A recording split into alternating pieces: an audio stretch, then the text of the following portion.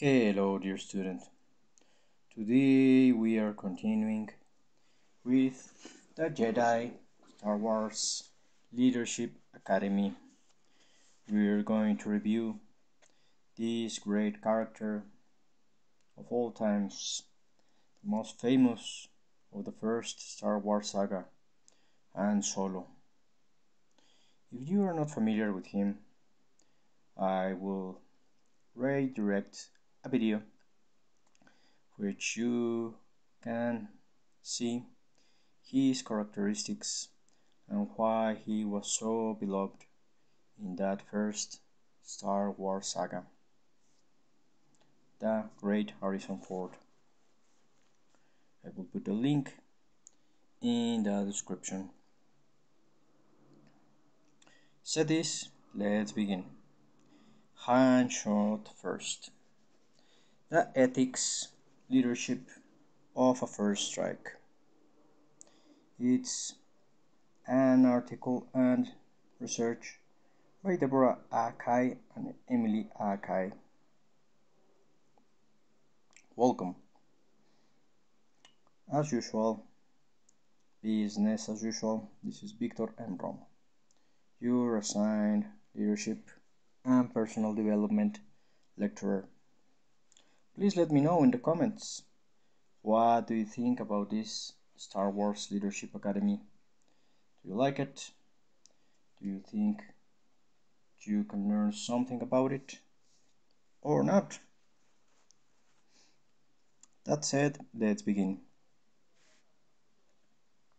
A first strike is an action that causes harm to someone who has not yet caused harm to you, but who may cause harm to you in the future. Whether the future is imminent or eventual, in international law, a military first strike against another country is allowed when the threat presented is imminent, overwhelming, and requires immediate action, leaving no moment for deliberation. But what about conflicts between people, not nations? Sometimes participants in an impending dispute also may choose the first strike.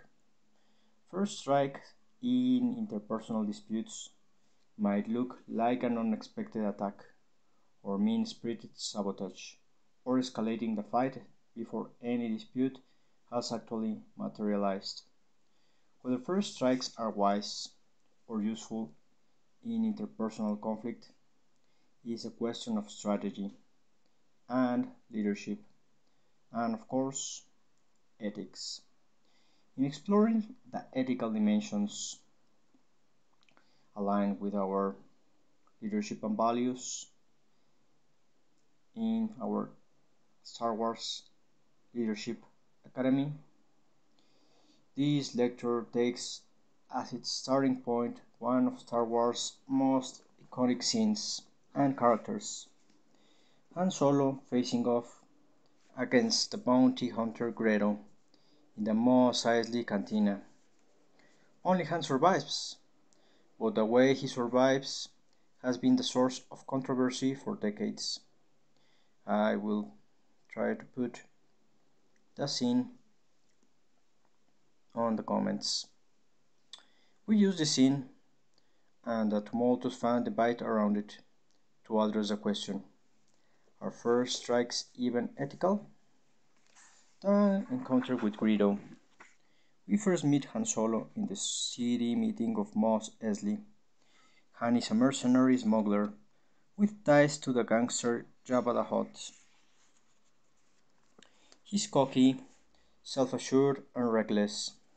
He generally tries to talk his way out of a bad situation, which we which he succeeds eventually. But often, when quick talking fails or when the conversation gets boring, he'll blast anything from intercom systems to enemies. After meeting with Luke and Obi-Wan, Han is confronted by Greedo, blaster drawn. Han and Greedo sit down at a corner table.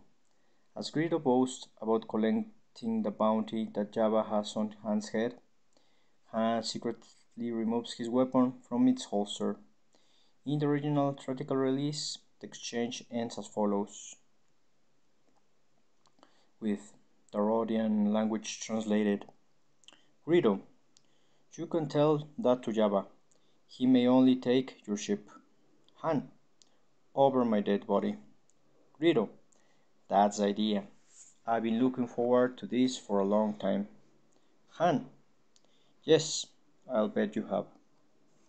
From under the table, Han shoots Greedo dead. He gets up and walks out of the bar, tossing a coin to the bartender and apologizing for the mess. Later editions of the Star Wars movies have altered this scene to show Greedo firing before Han, in, and to show Han and Greedo firing at the same time. Presumably, this changes were intended to provide greater justification for Han killing Greedo, which suggests that the filmmakers were concerned that Han may not have sufficient justification to shoot Greedo in the first place. With this in mind, we will consider the original version, the ones most fans swear by. Han shot first. Was this first strike ethical? To address this question, we'll draw on perspectives on the ethics of harm and self-defense from international law, criminal law, foreign policy, and also philosophy, which leadership always uses and takes knowledge from it. And lots and lots of Star Wars. Let's begin. The Caroline test. When it comes to the ethics of the first strike, one starting point is the Caroline test a 19th century international law doctrine. It's important to mention that most of the international law doctrine was developed during the 19th century, and the precursor of it was the Washington Treaty in 1871, in which the US and Britain had a dispute over Canada fishing territories and areas. And the event was all solved in an international court in Europe. So it was a great precursor of international law. The Caroline test states that one nation can strike first against another nation if the strike meets three conditions necessity, imminence, and proportionality. In other words, a first strike is justified if it is absolutely necessary to prevent the other side from striking. The danger must be so imminent that there is no time to think about alternatives or respond in any other way. Finally, the response should be proportional to the imminent attack. Although Han and Greedo are not nation states, the Caroline test is a good place to start when considering their encounter. Greedo is brandishing a weapon and making verbal threats. Does Greedo pose an imminent and overwhelming threat, leaving Han no other choice and no time to think about what else he may do? Is it necessary for Han to shoot Greedo to get away? Is killing, rather than injuring Greedo, a proportional response to the threat that he poses? The answers to these questions are not immediately clear. What makes these questions difficult is that the answer turn on one's perspective. Imminence, necessity, and proportionality are all subjective. From, from Han's point of view, a deadly attack may have seemed imminent, and therefore his reaction was necessary. But from Greedo's point of view, he may have assumed that Han would come quietly in a public place, like the cantina, and no violence would be required. The current test requires that we make assumptions about the intentions of the opposing party. And these assumptions may be incorrect.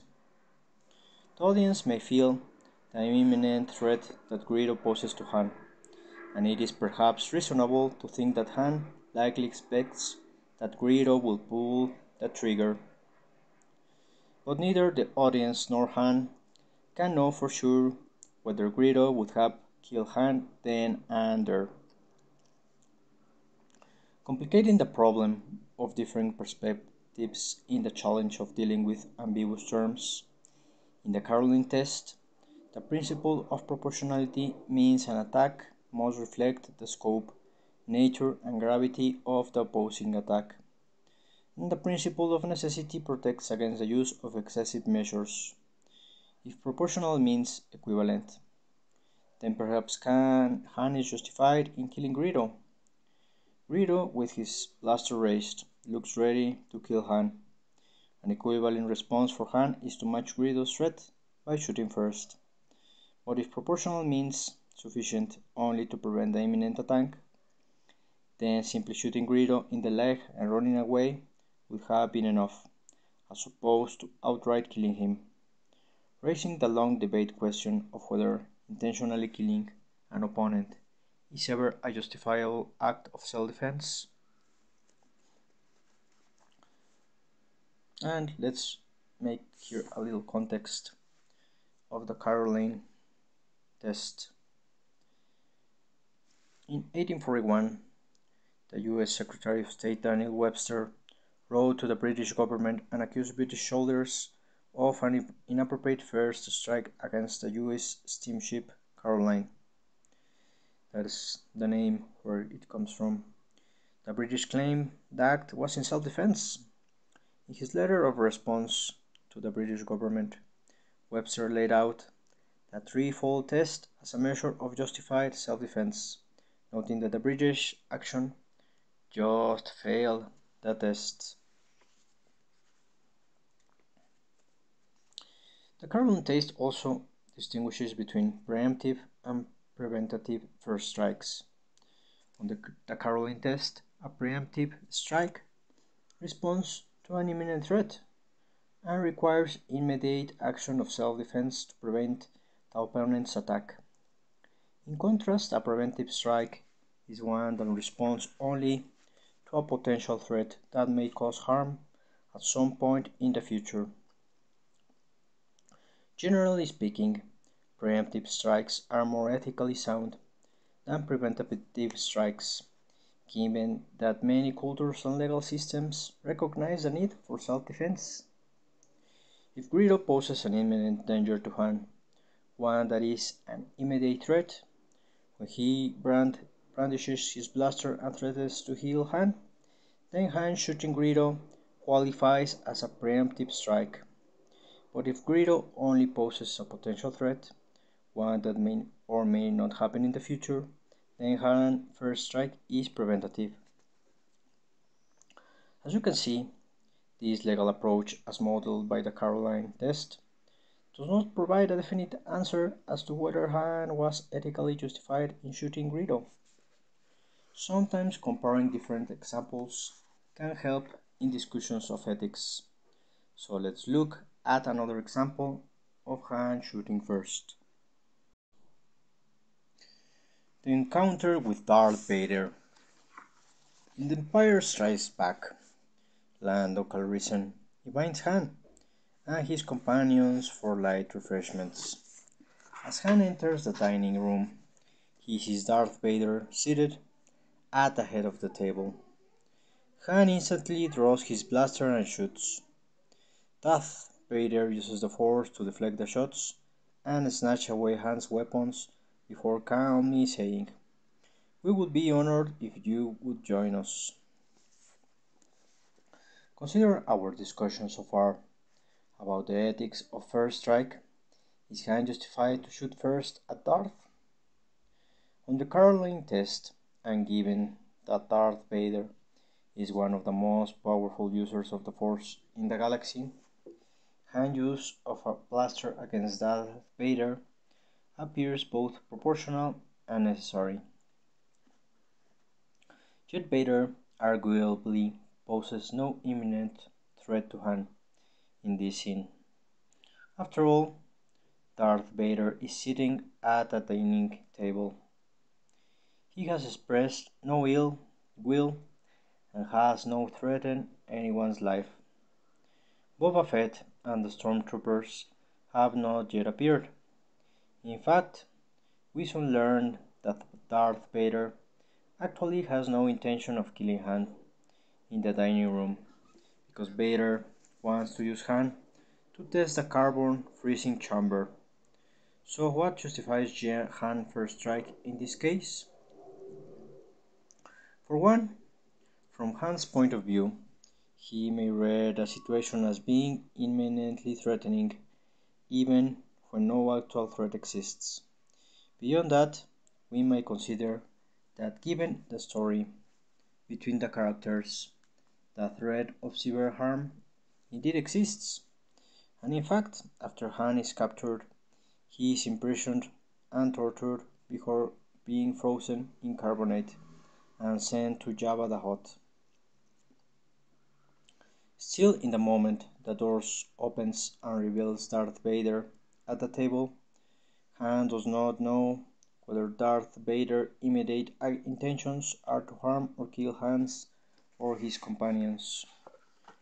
Working with what he knows at that point, is Han's first strike unethical, or is it just an over the top reaction to an invitation from his future in laws? Recall that the Caroline test drew a distinction between preemptive, facing immediate danger, and preventative, could face potential danger at some point later on, first strikes. In contrast to Han's interaction with Greedo, in which Han's first strike is arguably preemptive, his strike against Darth Vader appears preventative. When evaluating preventative strikes, the Bush Doctrine provides useful insight. In 2002, the Bush Doctrine was established as a national security strategy of the United States. The strategy allowed the U.S. to proactively intervene against states or terrorists that were perceived as threats to the security of the United States or its allies, even if the perceived threat had not yet yielded a direct attack on the United States. In contrast to the Caroline test, the Bush Doctrine attempted to legitimize certain preventive strikes by defining them as preemptive self-defense. The doctrine justified the use of force to eliminate a threat before an enemy attacks, even before the specific time and place of the enemy's attack was known thus eliminating Caroline's requirements of actual self-defense. When Han Solo encounters Darth Vader, he does not know when or where or how Darth Vader will attack.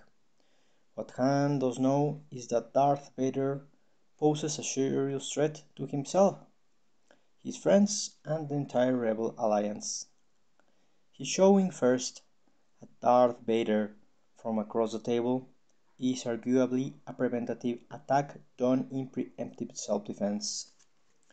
It is important to note that the Bush Doctrine's expansive definition of preemptive self-defense has been roundly criticized for decades. Its overreach and its potential for disproportionate and unwarranted harm.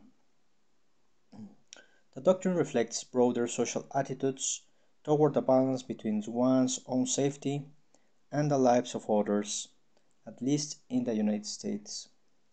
Further, the doctrine's endorsement of preventative action in the context of war has been mirrored in smaller, more local contexts.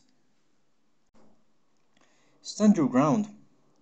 Statutes, for example, allow a person to use deadly force against another person when they reasonably believe that the other person poses a serious, but not necessarily imminent, threat of harm against them. Such statutes have redefined self-defense in these jurisdictions because they stipulate that people who feel threatened are not expected to retreat in any way. Instead, those who feel threatened are justified in using deadly force to defend themselves. Both the Caroline test and the British, sorry, the Bush doctrine provides analytical frameworks for assessing Han's first strikes on Greedo and on Darth Vader. But these frameworks do not explain how we choose ethically when it comes to first strikes in conflict, particularly interpersonal conflict. Simply put, what makes Han first strike against Darth Vader seem more acceptable and ethical than his first strike at Greedo, who was a much more imminent threat, arguably requiring preemptive action? Why was one scene edited and the other left untouched? Context matters. It's a period of civil war. As experts in international law and conflict resolution, we start with law and foreign policy when considering ethical questions around first strike. Although our focus is usually nation states, our analysis often provides useful insight into the ethical dimensions of interpersonal conflicts as well. For example, drawing from our discussion above, some key considerations in assessing the ethicality of a first strike in interpersonal conflict include the following 1. Difference in perspective. People in disputes often have wildly different perspectives around what is happening, who did what, and who poses a threat to whom. Choosing to strike first, without at least acknowledging these differences, is ethically problematic because it willfully ignores the possibility, valid understandings, and assumptions of the other side. Similarly, we need to consider someone's reasonable perspective when assessing ethically. Han genuinely believed that Greedo would kill him makes a difference in whether we think his first strike was warranted. 2. Definitional ambiguities and misunderstandings. Relatedly, parties in conflict may not have the same understanding of the rules or norms in effects. The word respect, for example, may mean different things to different people. Dialogue is often necessary to explore these differences and avoid exacerbating the conflict. Exploiting definitional ambiguities and misunderstandings to rationalize or justify bad behavior, including first strikes, is unethical. For example, imagine that Greedo believed that sitting at a table together precluded violent action between enemies, similar to when pirates have a moratorium on fighting during negotiations. Han either didn't agree, see different in perspectives above, or perhaps he took advantage of Greedo's belief, seeking the upper hand when he knew his opponent was unguarded. 3. Social norms and attitudes. How people fight and negotiate and make decisions reflect, at least in part, prevailing notions of acceptable and effective approaches. These prevailing notions do not necessarily justify first strikes, but they map help assess their ethicality. Our perception of Han's first strike in the cantina may have been different if instead of being confronted by a bounty hunter, he was confronted by a Republic officer or a small child. The norms around haunted hunter are more conducive to violence, and these norms affect our understanding of the ethicality of Han's behavior. The meta factor here is context. When Han tries to shoot Darth Vader, he does so within the larger context of war. Here on Earth, this context matters. International law includes both human rights law and humanitarian law. Human rights law applies at all times and under all circumstances, while humanitarian law applies specifically during periods of armed conflict. One tenet of humanitarian laws is permission to use force and take a life under certain conditions. This permission acknowledges that violence is inherent in war. In Star Wars, war is omnipresent. The first words that appear in A New Hope opening crawl offer a key insight into the entire culture of Star Wars. It's a period of war, civil war in this case. This context sets the stage for acts of violence. Engaging in a context based analysis explains why we are not shocked by Han immediately shooting at Darth Vader. Context may also explain why some people are uncomfortable with Han shooting Greedo first, since the stakes of that conflict are not on an intergalactic scale, but are instead about collecting debts for an alien crime lord. In other words, one first strike is for the greater good, for example, protecting the alliance, and the other first strike is for more selfish reasons, avoiding personal responsibility. The notion of context and the greater greed, good raises another ethical consideration, namely the familiar debate between utilitarianism and deontology. Is the killing of one person justifiable if it is in the service of a noble goal, like saving other lives? Or is killing always wrong, no matter the circumstances? A utilitarian might argue that Han's attempt to kill Darth Vader is justified, because it could effectively save the lives of millions of people.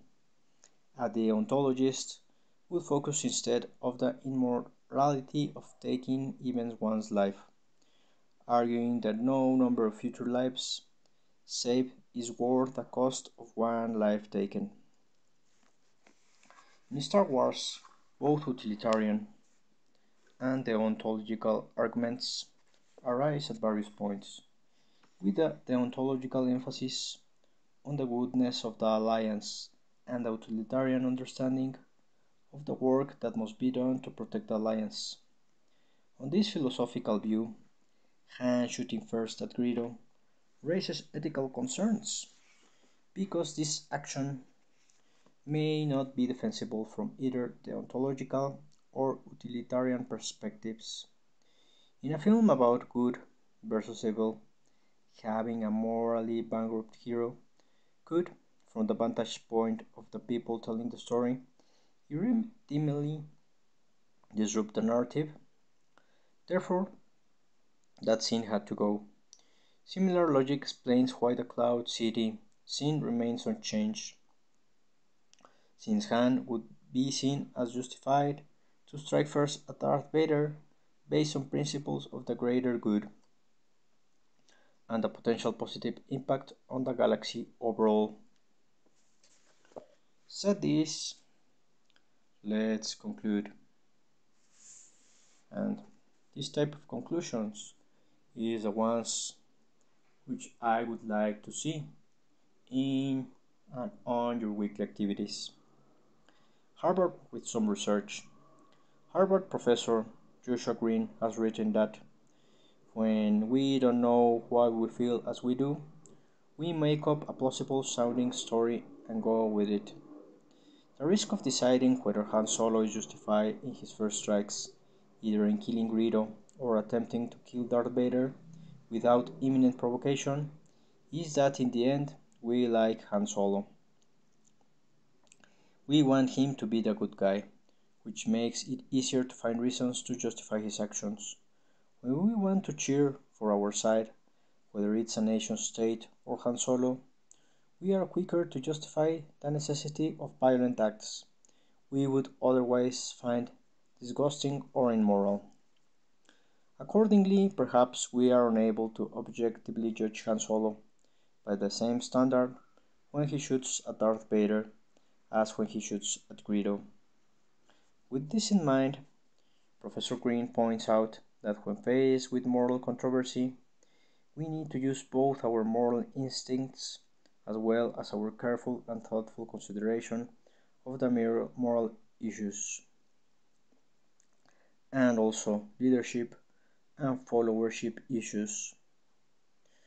When our emotional moral compasses point in opposite directions, they can't be both right. In other words, we must remain open to visiting and revisiting ethical choices in conflict, especially when those choices do harm or violence to others. When Han shot first, he raised a lot of questions that still hover in the smoky air of the Mos Eisley Cantina. Said this, please review the video on analysis of Han Solo character so you can have a greater context on this activity and then we will be working in teams like the first leadership academy activity test that we had for our partial test. So this, any question, please feel free to contact me by email. I will be glad to assist, correct, or just make some feed forwards about your activities. This was Victor M. Romo, your assigned lecturer for leadership and personal development. Thank you for listening, viewing, and goodbye. Please comment. I would like to see your comments on the comment section on the YouTube video. Goodbye. Have a wonderful